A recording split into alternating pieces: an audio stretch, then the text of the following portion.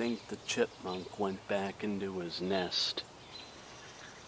Unfortunately, I was trying to give him another almond, but I ended up stepping on a pine cone and that scared him. So, guess we'll have to wait a while. I'm trying it with peanuts now. Ah, dang it. Here, let me try and Come on, stay up there, you stupid things.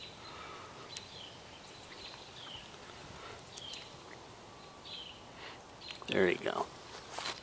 I got it in there. Let's see what happens. Well, maybe he left. I don't know. Well, when he comes back, he'll definitely get it then. There goes that squirrel.